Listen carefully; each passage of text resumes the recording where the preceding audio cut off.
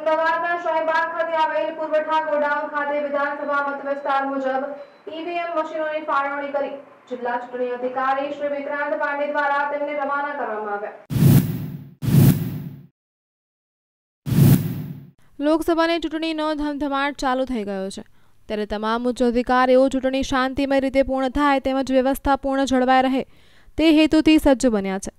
અમદાવાદ જિલ્લા કલેક્ટર અને જિલ્લા ચૂંટણી અધિકારી અમદાવાદ ખાતે પુરવઠા વિભાગના ગોડાઉન ખાતેથી ડોક્ટર વિક્રાંત પાંડેએ વિધાનસભા મત વિસ્તાર મુજબ ઈવીએમ મશીનોની ફાળવણી કરી રવાના કરવામાં આવ્યા. ઉલ્લેખનીય છે કે રાજકીય પક્ષોના પ્રતિનિધિઓ સાથે પ્રથમ રેન્ડમાઇઝેશન બાદ ચૂંટણી પ્રક્રિયાની આગળની પ્રક્રિયા માટે ઈવીએમ મશીનોને વિધાનસભા મત વિસ્તાર મુજબ રવાના કરવામાં આવ્યા.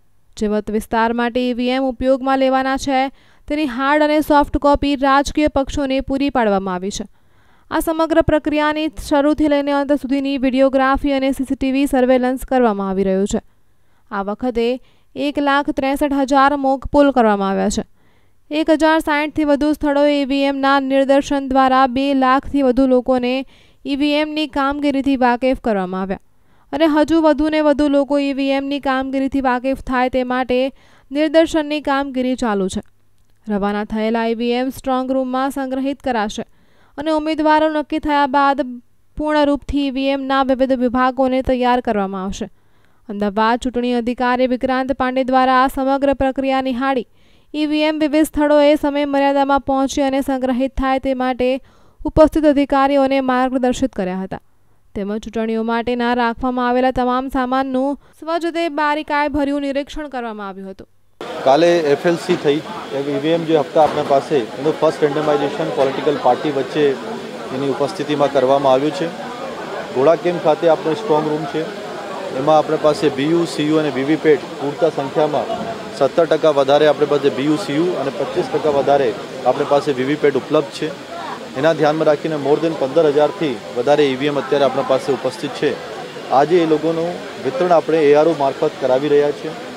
આપણા પાસે એકવીસ વિધાનસભા ક્ષેત્રની અંદર એ ફર્સ્ટ રેન્ડમાઇઝેશન થયા, પછી જે ઈવીએમ આવ્યા છે, એ ઈવીએમનું અત્યારે વિતરણ એસી વાઇઝ કરવામાં આવી રહ્યું છે. એ લોકો એસી વાઇઝ એ લોકોને સંગ્રહ કરશે અને પછી અહીંયાથી વિધાનસભા વાઇઝ સ્ટ્રોંગ રૂમમાં લઈ જાવીને ત્યાં સ્ટોર કરવાના છે. અત્યારે જે એસીમાં ઈવીએમ જવાના છે, એની ફાળવણી થઈ છે. ક્યાં બૂથ ઉપર જશે એ સેકન્ડ રેન્ડમાઇઝેશન પછી થવામાં આવશે. એટલે આજે ઈવીએમ અત્યારથી અહીંયાથી ડિસ્પેચ થાય છે, એમાં છથી સાત દિવસની પૂર્ણતઃ કામગીરી લાગશે. અને પાંચથી છ દિવસમાં એ કામગીરી પૂર્ણ થયા પછી ત્યાં સ્ટ્રોંગ રૂમમાં જ આવીને સ્ટોર થશે. અને જ્યારે આપણે ઉમેદવાર પત્રક જ્યારે નક્કી કરવામાં આવશે અને એ નક્કી થઈ જશે બેલેટ પેપર બની જશે, પછી ઈવીએમ તૈયાર કરવાની પ્રોસિજર થશે અને ત્યાર પછી સેકન્ડ રેન્ડમાઇઝેશન કરવામાં આવશે. આજે આપ જાણી શકો છો કે અહીંયા એસઆરપીની એક ફૂલ બટાલિયન આપણે અહીંયા રાખવામાં આવી છે. સાથે સાથ સીસીટીવી કેમેરા રાખવામાં આવ્યા છે. રાઉન્ડ ધ ક્લોક વિડીયોગ્રાફી કરવામાં આવી રહી છે. કોઈ બી વ્યક્તિ અગર પોલિટિકલ પાર્ટી વતી અહીંયા આવતા હોય તો એની એન્ટ્રી કરવામાં આવે છે, એની આઈડેન્ટિટી ચેક કરવામાં આવે છે. They can come here also આવીને એ જોઈ શકે છે કે આ બધી કામગીરી ટ્રાન્સપરન્ટ રીતે થઈ રહી છે. સાથે સાથે જ્યારે કાલે ફર્સ્ટ રેન્ડમાઇઝેશન કરવામાં આવ્યો, ત્યારે જે એસી વાય જે ઈવીએમ જવાના છે, એની યાદી હાર્ડ કોપી અને સોફ્ટ કોપી અમે પોલિટિકલ પાર્ટીને ઓલરેડી આપી છે. એ લોકો આવીને અહીંયા ક્રોસ ચેક કરી શકે છે કે ક્યાં ઈવીએમ જાય છે અને આખી પ્રોસિજર જે સ્ટાર્ટથી લઈને એન્ડ સુધી છે. એમાં અંતર્ગત આપણે પૂરી વિડીયોગ્રાફી સીસીટીવી સર્વેલન્સ અંતર્ગત. સર ખાસ કરીને કીટ આપવામાં આવતી છે. એક સંજીવ કુમાર રાજપૂત સાથે એનએસ ગુજરાત ન્યૂઝ અમદાવાદ.